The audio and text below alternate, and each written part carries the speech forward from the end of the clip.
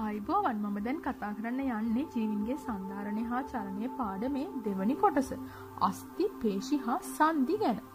ඉතින් අපේ මේ පේශි විශේෂිත ආකාරයකට තමයි සකස් වෙලා තියෙන අපේ පේශික සෛල තන්තු විදිට සකස් වෙලා තමයි අපේ සැකිලි පද්ධතියත් එක්ක සම්බන්ධ වෙලා තියෙන්නේ. ඉතින් මේ තියෙන්නේ ඒ විදිහට සකස් වෙච්ච පේශි තන්තුවක්. ඉතින් මේ පේශි තන්තුවලට පුළුවන් සංකෝචනය වෙන්න හිමත් නැත්තම් හැකිලෙන්න ඒ වගේම තමයිම පේශිතන්තුවලට පුළුවන් ඉහිල් වෙන්න හිම නැත්තම් දිග හැරෙන්න. ඉතින් මේ විදිහට සංකෝචනය වන ඉහිල්වන පේශවලට නැවතවතාවක් මූලික අවස්ථාවට නැත්තම් ආරම්භක අවස්ථාවට පත්වීමේ හැකියාවත් තියෙනවා හරියට ඉලාස්ටික් එකක් හිමත් නැත්තම් රබ බෑන්් එකක් වගේ. ඉතින් අපි දැන් බලමු අපේ මේ පේශි කොයි විදියට අපේ වැළමිට සන්ධයට සම්බන්ධ වෙලා තියෙන්නේ කියලා. ඉතින් මේ පේශි වර්ග දෙකක් තිබෙනවා අපේ වැළමිට සන්ධියත් සමග සම්බන්ධ වෙන. ඒ තමයි ද්විශීර්ෂ පේශිය සහ ත්‍රිශීර්ෂ පේශිය කියලා කියන්නේ. අරාස්තියට ද්විශීර්ෂ පේශියත් අන්වරාස්තියට ත්‍රිශීර්ෂ පේශියත් සම්බන්ධ වෙලා තියෙනවා. ඉතින් මේ වැළමිට සන්ධියෙන් අත නමන්න දිගහරින මෙම පේශිවර්ග දෙක තමයි උපකාරී වෙන්නේ. ඉතින් අපි දැන් ආකෘතියක් ආශ්‍රයෙන් බලමු කොහොමද අපේ වැළමිට සන්ධියෙන් අත නමන්න දිගහරින්න පුළුවන් වෙලා තියෙන්නේ කියලා. ඉතින් මේ තියෙන්නේ කාඩ්බෝඩ් දෙකක් සම්බන්ධ කරගෙන තියෙන ආකාරය. මෙම කාඩ්බෝඩ් පටි දෙක හිමත් නැත්නම් ලී පටි දෙකට මම සම්බන්ධ කරලා තියෙනවා ඉලාස්ටික් පටි දෙකක්.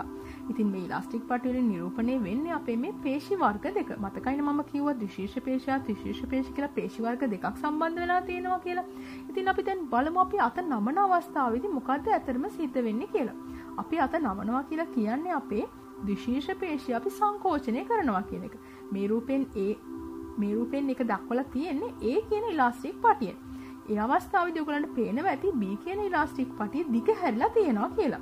ඒ කියන්නේ B කියන ඉලාස්ටික් පටිය ඉහිල් වෙලා තියෙනවා ඒ කියන ඉලාස්ටික් පටිය සංකෝචනය වෙලා තියෙනවා. ඒ කියන්නේ අපේ අතේදී සිද්ධ වෙන්නේ වැලමිට සන්ධියේ තියෙන ත්‍රිශීර්ෂ පේශිය ඉහිල් වෙලා ද්විශීර්ෂ පේශිය සංකෝචනය වෙලා තියෙනවා.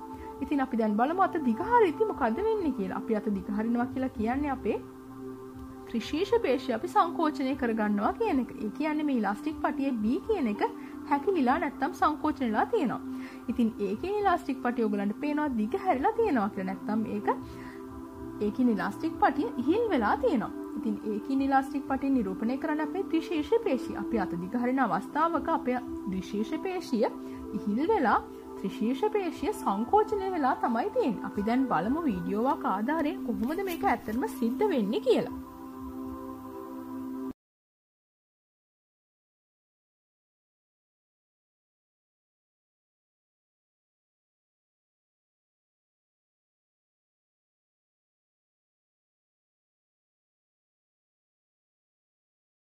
ඉතින් මේ වීඩියෝ වෙනුත් ඔයගලන්ට තවදුරටත් පැහැදිලි වෙන්න ඇති AB කියන ඉලාස්ටික් පටි දෙක සංකෝචනය වෙද්දී හිල් වෙද්දී කොහොමද මේ කාඩ්බෝඩ් කැබලි වල චලනය සිද්ධ වෙන්නේ කියලා. ඉතින් මේ රූපෙන් ඔයගලන්ට තවදුරටත් පැහැදිලි වෙයි අපේ වැලමිට සංදියෙන් අපේ අත නමන්න දිගහරින්න කොහොමද පුළුවන් වෙන්නේ කියලා.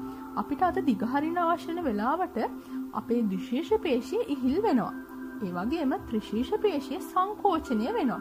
ඒ වගේම අපි අත නමන අවස්ථාවල අපේ ද්විශීර්ෂ පේශිය සංකෝචනය වෙලා ත්‍රිශීෂ පේශිය ඉහිල්වීම සිද්ධ වෙනවා. ඉතින් මේ ආකාරයට තමයි අපේ සෑම සංදියකම පේශි ඉහිල්වීම සහ සංකෝචන වීම මගින් අපි චලනයන් දක්වන්නේ. ඉතින් මේ විදිහට තමයි අපිට සංචරණය කරන්න පුළුවන් වෙලා තියෙන්නේ.